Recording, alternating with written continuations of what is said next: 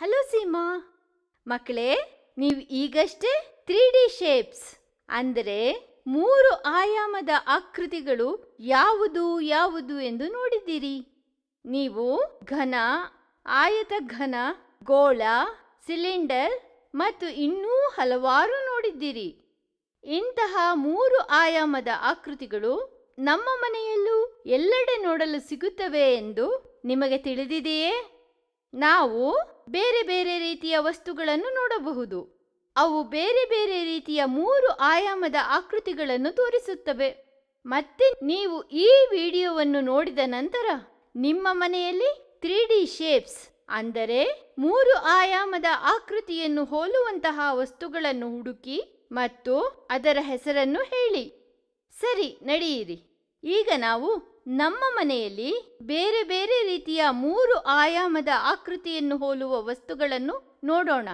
ಇದು ಒಂದು ಡಬ್ಬ. ಅದು ಸೀಮಾಳ ಮನೆಯಲ್ಲಿ ಇತ್ತು. ಇದು ಸಿಲ್ವರ್ ಡಬ್ಬ. ನಾವು ಪ್ರಾರಂಭಿಸುವ ಮೊದಲು ತ್ರೀ ಡಿ ಆಕಾರಗಳಲ್ಲಿ ಏನು ಏನು ಇರುತ್ತದೆ ಎಂದು ನೋಡೋಣ. ಮೊದಲಿಗೆ ನಾವು ನೋಡಿದೆವು ತ್ರೀ ಡಿ ಆಕೃತಿಯಲ್ಲಿ ಮುಖಗಳು ಇರುತ್ತವೆ. ಸಮತಟ್ಟಾದ ಮುಖಗಳು ಮತ್ತು ಬಾಗಿದ ಮುಖಗಳು ಸಹ ಇರುತ್ತವೆ. ಅಂಚುಗಳು ಇರುತ್ತವೆ. ಬೇರೆ ಬೇರೆ ಮುಖಗಳು ಸೇರುವ ಸ್ಥಳವನ್ನು ಅಂಚುಗಳು ಎಂದು ಕರೆಯುತ್ತೇವೆ. ಇಲ್ಲಿ ಸೀಮಾ ನಮಗೆ ತೋರಿಸುತ್ತಿರುವುದು ಮೇಲಿನ ಮತ್ತು ಮುಂದೆ ಕಾಣುವ ಮುಖಗಳು ಸೇರಿ ಆಗಿರುವ ಅಂಚು. ತ್ರೀ ಡಿ ಆಕೃತಿಗಳಲ್ಲಿ ಮೂಲೆಗಳು ಸಹ ಇರುತ್ತದೆ.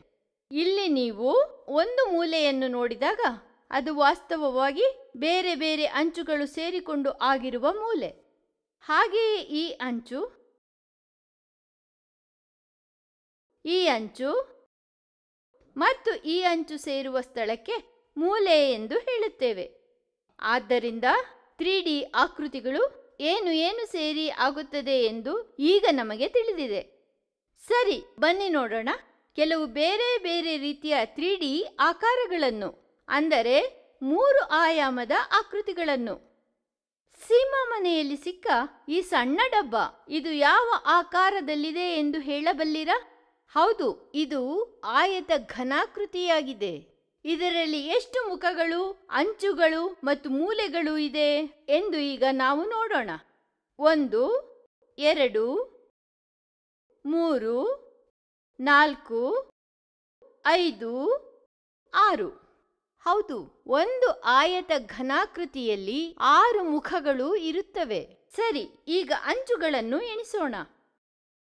ಒಂದು, ಎರಡು, ಮೂರು, ನಾಲ್ಕು, ಐದು, ಆರು, ಏಳು, ಎಂಟು, ಒಂಬತ್ತು, ಹತ್ತು, ಹನ್ನೊಂದು, ಹನ್ನೆರಡು. ಹೌದು, ಒಂದು ಆಯತ ಘನಾಕೃತಿಯಲ್ಲಿ ಹನ್ನೆರಡು ಅಂಚುಗಳು ಇರುತ್ತದೆ. ಮತ್ತೆ ಈಗ ನಾವು ಮೂಲೆಗಳನ್ನು ಎಣಿಸೋಣ. ಒಂದು, ಎರಡು, ಮೂರು, ನಾಲ್ಕು, ಐದು, ಆರು, ಏಳು, ಎಂಟು. ಹೌದು, ಆಯತ ಘನಾಕೃತಿಯಲ್ಲಿ ಎಂಟು ಮೂಲೆಗಳು ಇರುತ್ತದೆ. ಸರಿ ಬನ್ನಿ. ಈಗ ಈ ಆಕೃತಿಯನ್ನು ನೋಡೋಣ. ಆಯತ ಘನದ ಪಕ್ಕದಲ್ಲಿರುವ ಈ ಆಕೃತಿ ಒಂದು ಘನ. ಘನ ಆಯತ ಘನದಂತೆಯೇ ಇರುತ್ತದೆ. ಇದರಲ್ಲಿ ಇರುವ ಒಂದೇ ವ್ಯತ್ಯಾಸವೆಂದರೆ ಆಯತ ಘನದ ಎಲ್ಲ ಮುಖಗಳು ಆಯತಾಕಾರದಲ್ಲಿ ಇರುತ್ತದೆ. ಆದರೆ ಘನದ ಎಲ್ಲ ಮುಖಗಳು ಚೌಕಾಕಾರದಲ್ಲಿ ಇರುತ್ತವೆ. ಹೌದು. ಆದರೆ ಆಯತ ಘನದಲ್ಲಿ ಕೂಡ ಒಂದು ಘನದಂತೆ ಆರು ಮುಖಗಳು, ಹನ್ನೆರಡು ಅಂಚುಗಳು ಮತ್ತು ಎಂಟು ಮೂಲೆಗಳು ಇರುತ್ತದೆ. ಈಗ ಈ ಆಕೃತಿಯನ್ನು ನೋಡಿ. ಇದು ಏನು? ಇದು ಉಣ್ಣೆಯ ಒಂದು ಚೆಂಡು. ನನಗೆ ಖಂಡಿತ ಗೊತ್ತಿದೆ, ನಿಮ್ಮ ಮನೆಯಲ್ಲಿಯೂ ಸಹ ಒಂದು ಚೆಂಡು ಇದೆ ಎಂದು. ಹಾಗಾದರೆ ನೀವು ಇದು ಯಾವ ಆಕಾರದಲ್ಲಿದೆ ಎಂದು ಹೇಳಿ. ಹೌದು, ಇದು ಒಂದು ಗೋಳ. ಸೀಮಾ ನೀವು ಈ ಚೆಂಡನ್ನು ನಮಗಾಗಿ ನಾಲ್ಕು ಕಡೆಯೂ ತಿರುಗಿಸಿ ತೋರಿಸಬಹುದೇ? ಈಗ ಈ ಗೋಳವನ್ನು ಎಚ್ಚರಿಕೆಯಿಂದ ನೋಡಿ. ಇದರಲ್ಲಿ ಎಷ್ಟು ಮುಖಗಳನ್ನು ಹೊಂದಿದೆ? ನೀವು ಎಚ್ಚರಿಕೆಯಿಂದ ನೋಡಿದರೆ ಇದು ಕೇವಲ ಒಂದು ಮುಖವನ್ನು ಮಾತ್ರ ಹೊಂದಿದೆ. ಅದು ಸಮತಟ್ಟಾದ ಮುಖವಲ್ಲ. ಬದಲಿಗೆ ಅದು ಬಾಗಿದ ಮುಖ. ಮತ್ತೆ ಯೋಚಿಸಿ, ಗೋಳದಲ್ಲಿ ಯಾವುದೇ ಅಂಚು ಇದೆಯೇ? ಇಲ್ಲ. ಗೋಳಕ್ಕೆ ಯಾವುದೇ ಅಂಚು ಇಲ್ಲ. ಮತ್ತು ಮೂಲೆ? ನಮಗೆ ತಿಳಿದಿದೆ ಏನೆಂದರೆ ಮೂಲೆಗಳು ಅಂಚುಗಳು ಸೇರುವ ಸ್ಥಳವೆಂದು. ಅಥವಾ ಅಂಚುಗಳು ಎಲ್ಲಿಗೆ ಬಂದು ಸೇರುತ್ತದೆ? ಅದು ಮೂಲೆ ಆಗುತ್ತದೆ ಇದಕ್ಕೆ ಅಂಚು ಇಲ್ಲದಿದ್ದಾಗ ಇದಕ್ಕೆ ಮೂಲೆಗಳು ಸಹ ಇರುವುದಿಲ್ಲ. ಈಗ ಇದನ್ನು ನೋಡಿ. ಹೌದು, ಇದು ಒಂದು ಬಾಟಲ್. ಇದನ್ನು ನೀವು ನಿಮ್ಮ ಮನೆಯಲ್ಲೂ ಸಹ ನೋಡಬಹುದು. ಆದರೆ ನೀವು ಯೋಚನೆ ಮಾಡಿ, ಇದು ಯಾವ ಆಕಾರ ಎಂದು ನೀವು ಹೇಳಬಲ್ಲಿರಾ? ಹೌದು, ಇದು ಒಂದು ಸಿಲಿಂಡರ್ ಆಗಿದೆ. ಈಗ ನಾವು ಸಿಲಿಂಡರ್ನ ಮುಖ, ಅಂಚು ಮತ್ತು ಮೂಲೆಯ ಬಗ್ಗೆ ಮಾತನಾಡೋಣ.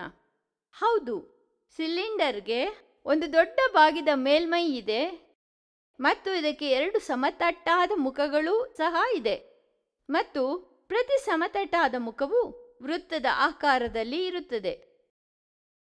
ಈಗ ಅಂಚಿನ ಬಗ್ಗೆ ಮಾತನಾಡೋಣ.